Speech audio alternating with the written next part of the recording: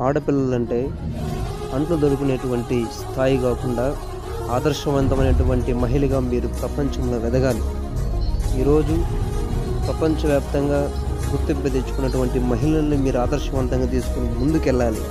దానికోసం మీరు కృషి చేయండి. మీ వెంట మీకు తోడుగా మీ బ్రదర్గా మీ బిఆర్ మీతో ఉంటాడు.